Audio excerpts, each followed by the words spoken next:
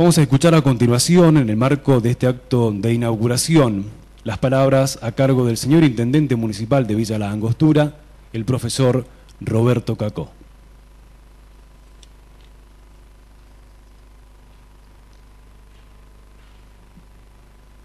Muy buenas tardes a todos, señor gobernador de la provincia del Neuquén,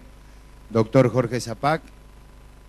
ingeniero Matías Bianchi de Arsat Nación, ministros que nos acompañan. La verdad que es un honor volver a tener este TECNAP acá en Villa Langostura. Eh, es un placer aparte, en una localidad que ha tomado decisiones en cuanto a las tecnologías, nos está llevando su tiempo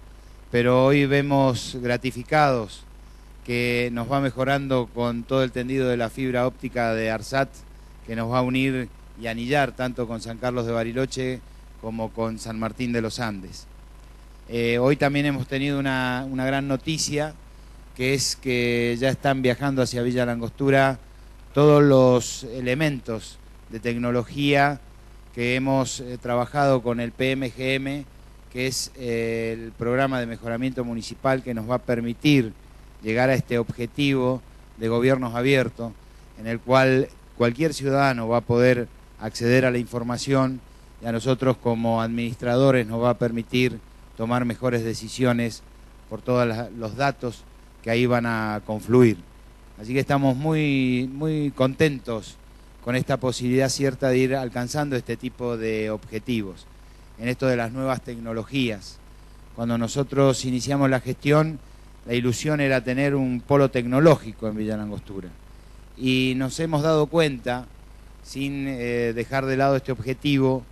que era primordial que nosotros tengamos el equipamiento como una ciudad digital. Empezar a tener todas las herramientas que nos permitan tener la seguridad para que cualquier usuario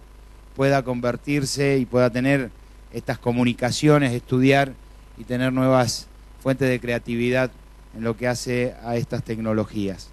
Así que paso a paso vamos trabajando para lograrlo, lo vamos a ir haciendo de a poco y también nos hemos dado cuenta de la importancia que tiene en esto la educación. Si no logramos capacitar a nuestros chicos para que puedan acceder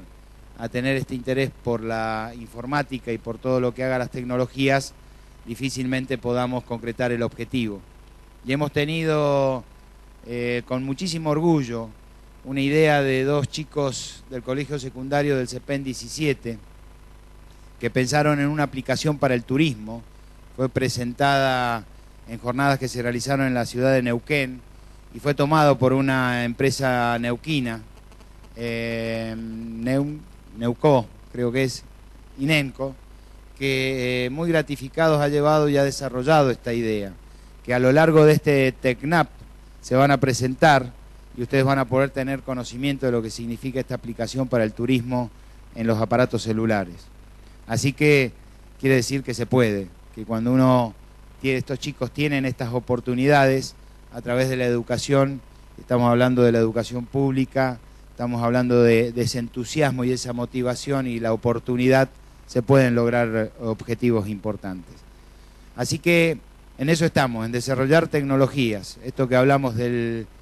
em, PGM, lo que hablamos de ARSAT, estamos trabajando con las compañías de telefonía para que logren mejorar la calidad de los servicios que están dando. Eh, y así iremos construyendo día a día esta ciudad tecnológica, este gobierno abierto, que nos pondremos a trabajar con el ingeniero Lafite, por supuesto, en todo lo que él ha logrado en la provincia para que nosotros lo podamos replicar en nuestros municipios, porque esto hace también a la transparencia y al acceso a la, información. Gratificado nuevamente, lo reitero, con el tema de que estén acá, de que estén en esta ciudad tan bonita, que nos permite ya por su simple paisaje que la creatividad de todos ustedes se desarrolle. Espero que lo disfruten, que pasen tres días maravillosos y que sigan eligiendo Villa Langostura, provincia del Neuquén, eh, para realizar este tipo de actividades y que sigamos creciendo a lo largo y a lo ancho de la República Argentina. Muy bienvenidos, muchas gracias y que disfruten. Ha sido la palabra del señor Intendente Municipal de Visa La Angostura, profesor Roberto.